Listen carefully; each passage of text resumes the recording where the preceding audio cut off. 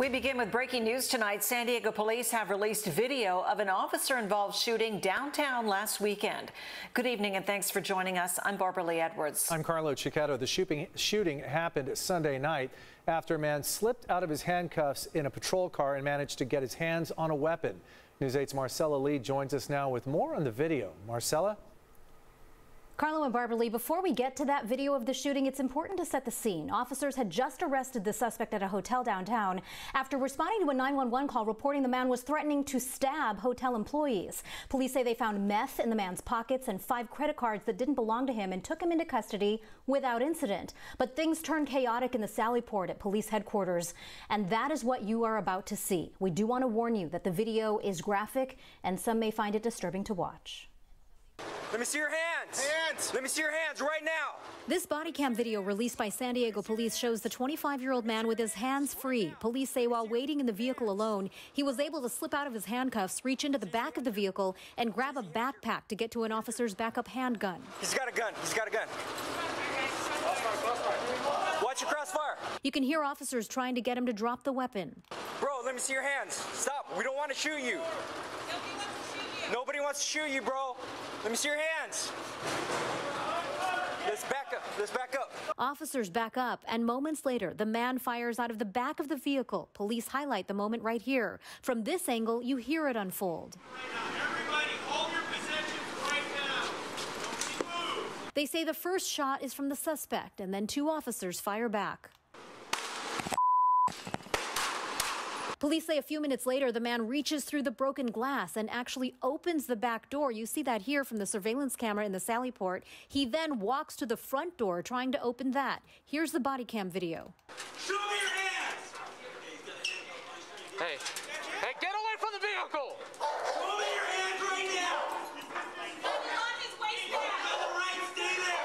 Stop reaching! Stop reaching right now! Police highlight the gun in the man's waistband. More shots are fired, and then a canine is brought in. Police say once the handgun is secure, officers immediately begin first aid until paramedics arrive. Police say his injuries are non life threatening. Police say the case will be turned over to the district attorney's office. They say internal affairs will also conduct an investigation, and the shooting review board and the community review board on police practices will also evaluate what happened, with the FBI and the U.S. attorney's office monitoring the case. Back to you. All right, thanks, Marcella. Our other top story tonight the president is publicly contradicting his own health agencies as he continues to push to get kids back into the classrooms this fall. Natalie Brand is at the White House where President Trump is also hosting the leader of Mexico.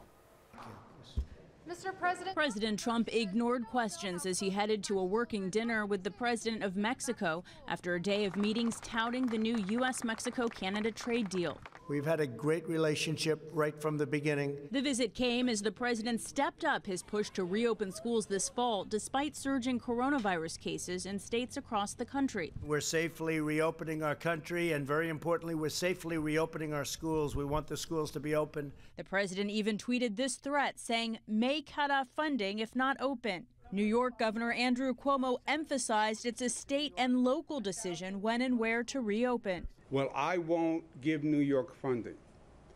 You don't give us any funding now. The president also tweeted that he disagrees with his own CDC's suggestions for reopening schools, calling them very tough, expensive, and impractical. It's guidance. It's not requirements. The vice president said the CDC will issue new guidance next week to give more clarity on reopening schools because of the president's criticism. What is not the intent of CDC's guidelines is to be used as a rationale to keep schools closed. The presumptive Democratic presidential nominee, Joe Biden, continued to bash the Trump administration's response to the pandemic. The guy who says, I'm commander in chief, and then doesn't command anything in this fight against the COVID 19. The president this week has touted a lower death rate from the pandemic, but Dr. Anthony Fauci called that a quote false narrative, urging Americans not to become complacent. Natalie Brand, CBS News, the White House. As the president pushes for schools to reopen, Governor Gavin Newsom is pushing back, saying the choice needs to be a data driven decision left to local districts. News 8's Heather Hope spoke with parents, students, and educators about the push to reopen. She has their reaction in this Learning Curve report.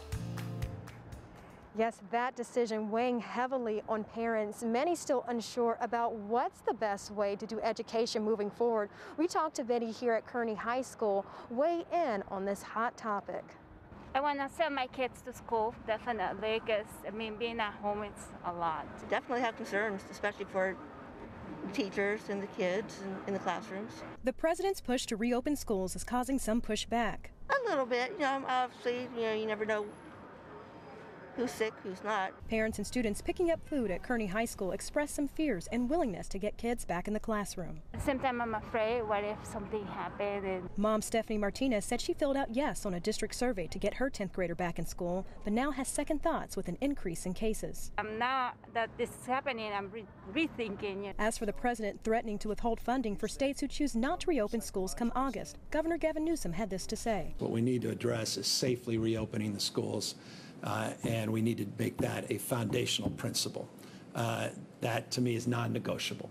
The governor said the goal is to provide more PPE and support for educators. Protect our caregivers, our teachers, uh, to protect their support staff, janitors, the bus drivers, uh, and our children. We're probably one of the largest, not the largest, elementary school district in the state of California. Dr. Francisco Escobedo, the superintendent of the Chula Vista Elementary School District, says schools will reopen on August 31st with a five stage plan for his over 30,000 students. We're getting ready. It's still a, a road ahead for us of awareness, messaging. The schools will have temperature checks, some staggered schedules, face masks, and hand washing areas. We, we are hope that we can limit the class sizes, especially if we do some staggered starts as well. A recent San Diego Unified School District study shows nearly 60% of parents are willing to let their children go back to school inside a classroom, while just 30% support both online and in classroom education, with just 10% showing they want online education only. Barbara Lee and Carlo. All right, Heather, thank you. There has been hot debate over whether to send students back to school this fall, which brings us to our question of the day. Do you agree with the push to send students back to on campus learning? Uh, the answers there yes, I think it'll be okay. No, I, it won't be safe, or I'm undecided. Right now, the no, it won't be safe uh, seem to be leading the pack. But you can log on to the News 8 app or CBS8.com slash vote to weigh in and uh, choose from one of those three choices. We'll have updates throughout the newscast. UC San Diego is working to keep international students enrolled here in the U.S. This week, ICE announced that students here on F1 and M1 visas who only take courses online will need to transfer schools or face deportation. UC San Diego says it is working to offer enough in-person and hybrid courses to meet the minimum requirement for international students to remain in the U.S. The university plans to have 30% of its courses in person in the fall, and the remaining 70% will be hybrid or remote. The number of coronavirus related deaths in San Diego County surpassed 400 today. County leaders confirmed 264 new infections out of just over 7,600 tests. That's a positive rate of about 3%. The 14 day rolling average is now at 5.8%. The total number of coronavirus cases is now at 17,842. Seven new deaths brings that total to 406. News 8's Brandon Lewis joins us now to take a look beyond the numbers. Carlo and Barbara Lee, California was one of three states that was called out by federal health authorities, the others being Florida and Texas. All had a relatively modest growth of coronavirus cases until about two weeks ago, and that's a scene that we are seeing play out here in San Diego a long time of stability, but then this increase in the number of test positives and rapid increase in cases. California was called out by federal health authorities for the stark increase in coronavirus cases. The majority of the issue is in the Los Angeles area, although we see this through Riverside, Imperial, Sacramento, and now San Francisco with increased number of cases. San Diego is no exception. Cases are up more than 24% Monday to Monday, with cases growing faster in Carlsbad, Solana Beach, and Fallbrook. While the South Bay is home to the most cases, they're increasing at or below the county average.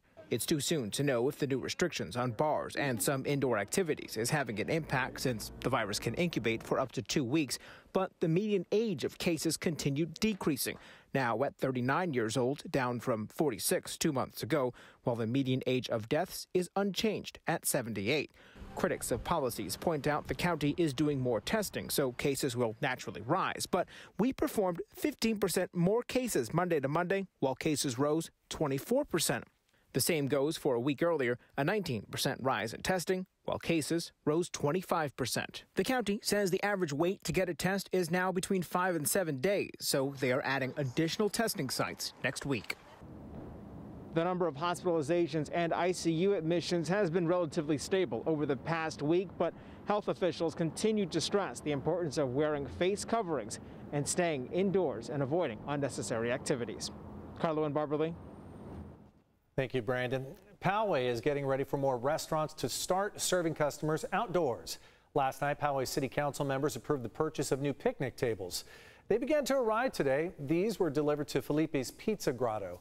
Uh, the city's plan is to lease the tables to businesses, and once the state imposed indoor dining restrictions are over, the tables will be moved to local parks.